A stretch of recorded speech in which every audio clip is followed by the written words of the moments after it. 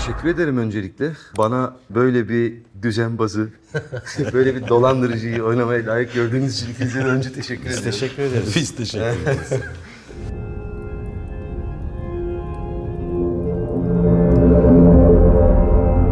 Merhabalar, ben Onur Saylak. Boğa Boğa filminin yönetmeniyim. Şimdi filmimizin senaristi Hakan Günday ve başrol oyuncusu Kıvanç Tatlıtuğ ile birlikte filmimizi kare kare inceleyeceğiz ve sizlerle fikirlerimizi paylaşmaya çalışacağız.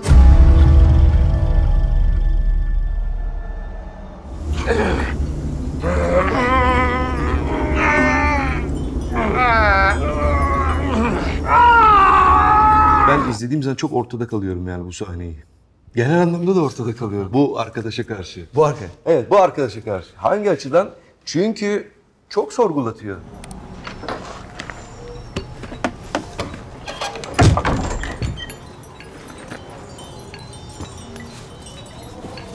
Aslında mekan gerçek bir mekan. Bildiğiniz Ege'de yolun kenarındaki bir antikacı. Çoğu dekor değil mi onların? Birçoğu dekor. Tabii ki sanat yönetmenlerimizin onlar tasar, tasarımı burası. Biblolar var.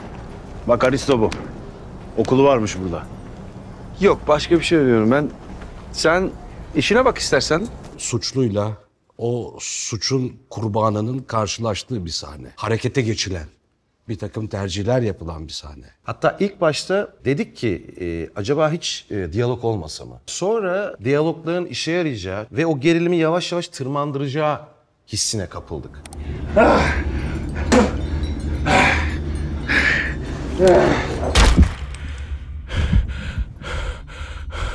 Aa güzelmiş. Gergin ya. Ben her izlediğimde geriliyorum. Arkadaş ne üşümüştük o gün. Yani evet Hatırlıyor ya. musun? Ben bütün ekibe e, giderken dedim ki bavullarınıza mayolarınızı koyun. Çünkü e, Asos'a gidiyoruz dedim. çok yanlış Aa, Çok yanlış çıktı. E, yani Asos'ta eksi altı gördük. inanmazsınız. Böğrümüze böğrümüze rüzgar. Çok soğuktu. Ey Yalın Bey, av sever misiniz? Var mı avcılık? Yani çok anladığım şeyler değil. Avcılık. E ben size anlatayım o zaman. Artık burada asla güvende Olmadığını. olmadığını ve hiçbir zaman olmayacağını, güvenebilecek kimsenin olmadığını anladığı an. Filmin buradan sonrası için av avcı ilişkisini tanımlıyor. Seni kim gebertir ben bilmem. Ama seni geberteni ben bulmam. Bulmam aramam. Büyük sıkıntıdayken yalnız başına olan ben bunun altından nasıl çıkacağım psikolojisi var. Ve tek başına kaldığı zaman kuyruğuna sıkıştırdığını görüyoruz.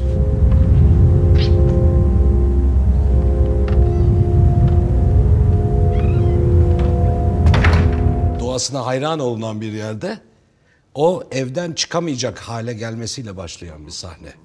Biz bu sahneye hazırlanırken sevgili Kıvanç geldi dedi ki bir şeyler deneyebilir miyim? Gerçekten bir doğaçlama mı oldu? Evet, değil mi? evet, aynen, aynen. Ve e, sahne buraya evrildi. Bu sürpriz sahnenin ortaya çıkmasının sebebi oyunculuk yapmış bir yönetmen olarak. Oyuncuya tanınan Alandan alan. kalan. Evet. O zaman ne oluyor mesela? Fütursuz her şeyi deneyebiliyorsun.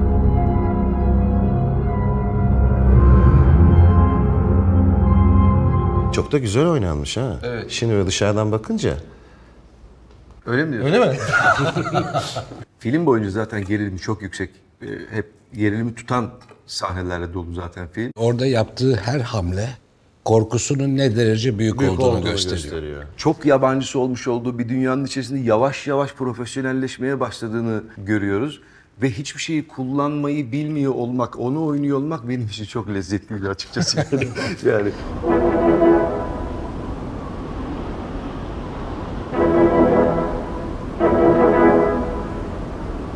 Adamın hayatında hep böyle bir poker suratı var. Beyza'ya karşı eşi olduğundan mütevellit bir parça daha bir samimiyeti var. Ama o kadar samimiyeti var. Beyza aslında tüm bu hikaye başlatan, hareketi yapan karakter. Ve istiyor ki beraber baş başa yeni bir hayata başlayalım. Ya ben de tam oraya gelecektim.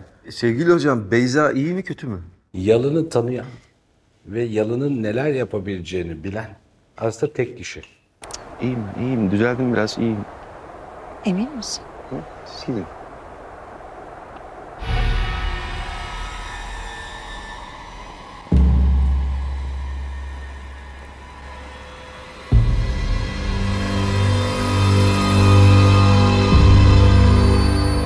Paranın bir ölüm kalım meselesine dönüşmüş olduğu bir hikaye olduğu için yalın orada yalınlık yapıyor.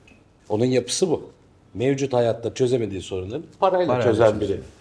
Yani sonuçta küfe içinde milyon euro görüyorsun. Onunla ne yapacakları, ne edecekleri, nasıl baş edecekleri bir sürü soru var aslında suratlarında. O küfe sabit insanlar etrafında dönüyor bütün film boyunca.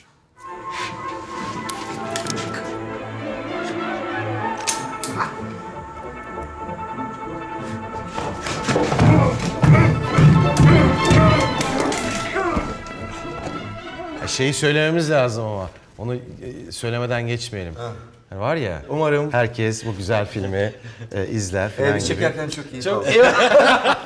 evet asıl filmi bu. Tabii ki. Biz çekerken aşırı keyif aldık. Boğa Boğa filmini Netflix'te izleyebilirsiniz. İyi seyirler.